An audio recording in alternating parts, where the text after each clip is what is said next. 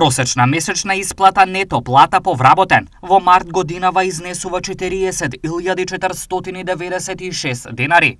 И е за 16 од повисока од истиот месец лани, соопшти Државниот завод за статистика. Ова се должи на зголемувањето на просечната месечна исплата нето плата по вработен во секторите, снабдување со електрична енергија, газ, пареа и климатизација 21,9%, јавна управа и одбрана задолжително социјално осигурување 21,3% и образование 20,5%.